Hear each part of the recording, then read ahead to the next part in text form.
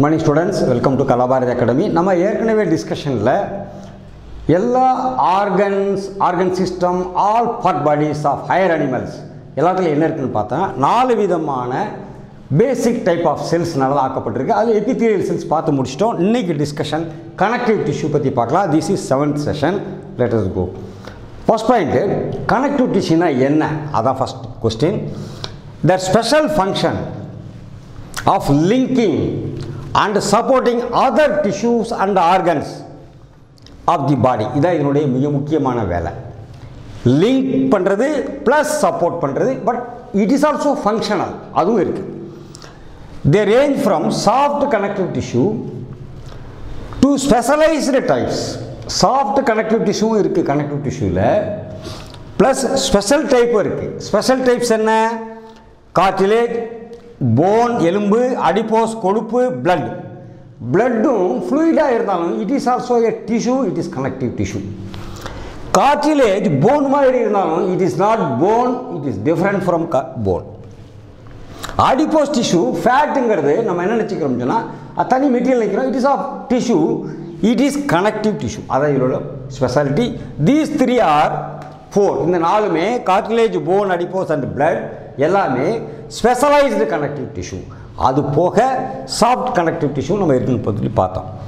All connective tissues except blood blood தவிர மீதி எல்லா வகை கனெக்டிவ் டிஷ்யூமே செக்ரீட் ஃபைபர்ஸ் செக்ரீட் ஃபைபர்ஸ் அதனுடைய ஃபங்க்ஷன்ஸுக்கு தேவையான அளவிற்கு அந்த ஃபைபர்ஸை செக்ரீட் பண்ணுது. எதுக்கு? எலாஸ்டிசிட்டி எக்ஸ்டென்ஷன் ஃப்ளக்ஷன் இந்த மாதிரி எல்லா வேலைக்கும் மடியணும் ஒடிஞ்சிடக்கூடாது நீளனும் அந்திரக்கூடாது. இந்த மாதிரி எல்லா வேலைக்கும் என்ன? Secrete fibers of structural proteins called collagen அல்லது எலாஸ்டின் கொலாஜன் அல்லது எலாஸ்டின் சொல்லப்படக்கூடிய ஸ்ட்ரக்சுரல் புரோட்டீன்ஸை இந்த ஃபைபர்ஸை இந்த ஆனால் அந்த ஃபைபர்ஸை என்ன பிளட்டு தவிர மீதி எல்லா கனெக்டிவ் டிஷ்யூவும் செக்ரீட் பண்ணுது. The fibers provide strength elasticity flexibility to the tissue அந்த டிஷ்யூக்கு பலம் கொடுக்குது நீளும் தன்மையை கொடுக்குது மடியும் தன்மையை கொடுக்குது. இந்த ஃபங்க்ஷன்ஸுக்காக தான் இந்த கனெக்ட் கனெக்டிவ் டிஷ்யூடைய மிக முக்கியமான வேலை.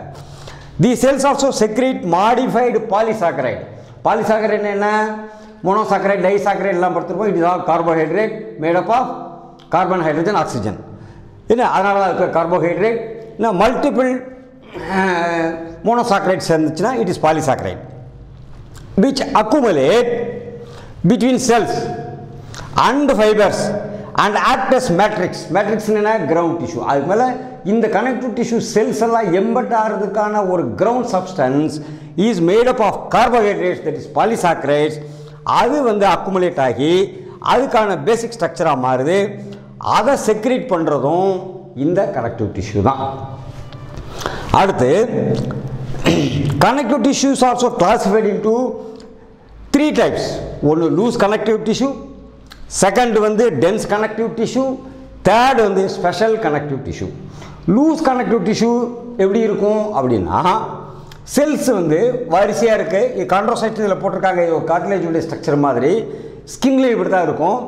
இது வரிசையாக செல்ஸ் அமைஞ்சிருக்கு. அல்லது செல்ஸ் தனித்தனியாக இண்டிவிஜுவலாகவும் அமைஞ்சிருக்கலாம். என்ன? இன்டர்செல்லுலர் ஸ்பேஸ் பெருசாக இருக்கும். இதுக்கு மத்தியில் ஏராளமான கொலாஜன் ஃபைபர்ஸ் கொலாஜன் ஃபைபர்ஸ் இருக்கும். இது மாதிரி இருக்கும்போது தான் கனெக்டிவ் டிஷ்யூடைய ஃபங்க்ஷனை அது கரெக்டாக செய்ய முடியும். Loose connective tissue has cells and fibers loosely arrange அதான் ஸ்பேஸ் ஸ்பேஸ் நிறைய இருக்கும்.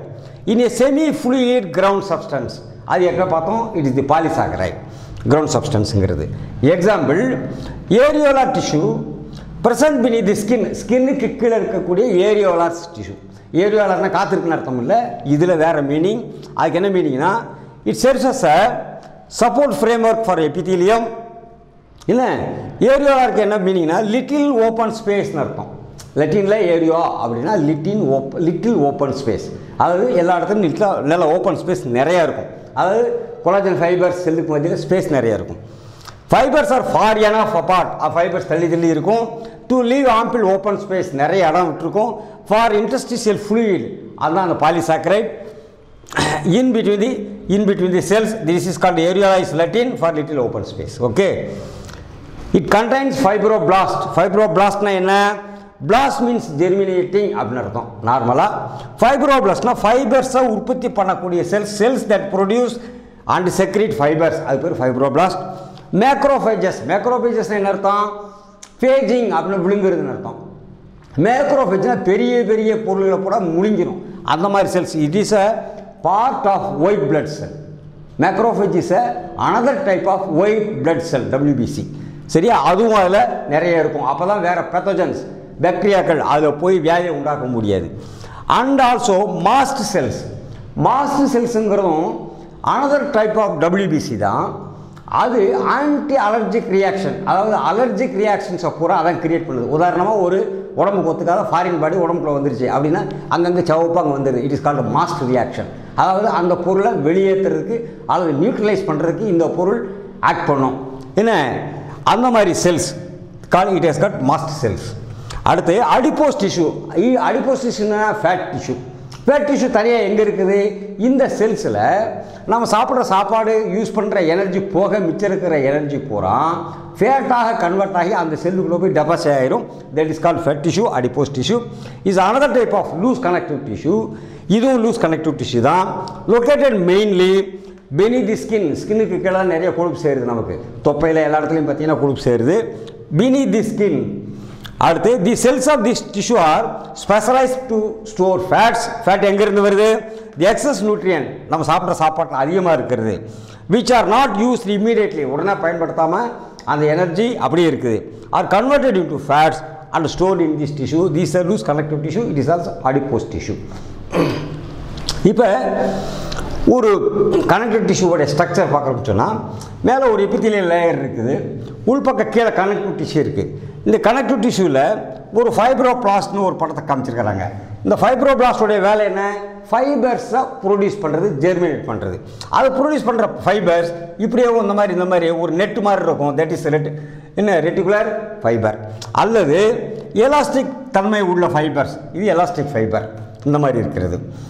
கொலாஜன் ஃபைபர்ஸ் இதெல்லாம் கொலாஜன் ஃபைபர்ஸ் பட்ட பட்டையாக பெருசு பெருசாக அமைஞ்சிருக்கு. கொலாஜன் ஃபைபர்ஸ் இதில் மேக்ரோஃபேஜ் இருக்குன்னு சொன்னோம். ஒன் டைப் ஆஃப் டபிள்யூபிசி அடுத்து மாஸ்ட் செல் இருக்குன்னு சொல்லி சொன்னோம். This is mast cell another type of WBC இது பேத்தோஜன்ஸ்க்கு எதிராக உள்ளே வந்து தேவையற்ற பாக்டீரியாக்கள் ஈஸ்ட் ஃபங்கஸ் ஏதாவது உள்ளே வந்து உடம்பை கெடுத்துடாமல் இருக்குது இது அதை உடனே சாப்பிட்ரும் அதனால தான் இது பேர் மேக்ரோஃபேஜ் இது வந்து அலர்ஜிக் ரியாக்ஷன் ஃபாரின் பாடி பாடிக்கு உடம்புல வந்துச்சுன்னா இது என்ன செய்யும் எல்லா செல்லையும் அலர்ட் பண்ணி அதை வெளியே தள்ள சொல்லி அதுக்கான சிக்னல் கொடுக்கும் that is called master cell another type of WBC. Okay.